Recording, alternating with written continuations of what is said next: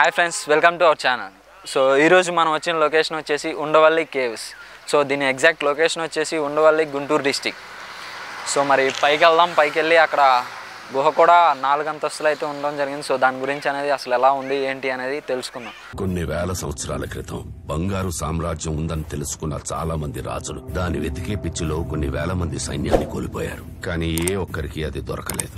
అది ఏ ఒక్కడికి దొరికినా వాడు పెద్ద రాజై ఉండేవాడు. అవునా?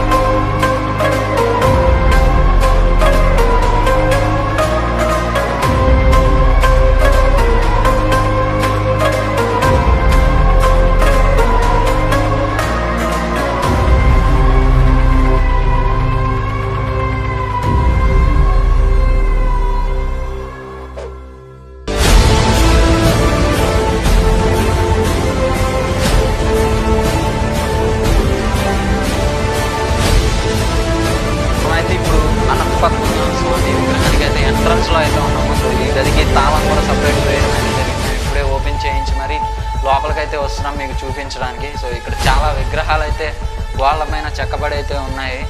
వాటితో పాటు ఇక్కడ నిద్రిస్తున్న అనంత పద్మనాభ స్వామి విగ్రహం అయితే చాలా పెద్ద విగ్రహం అయితే ఇక్కడ ఉండటం జరిగింది.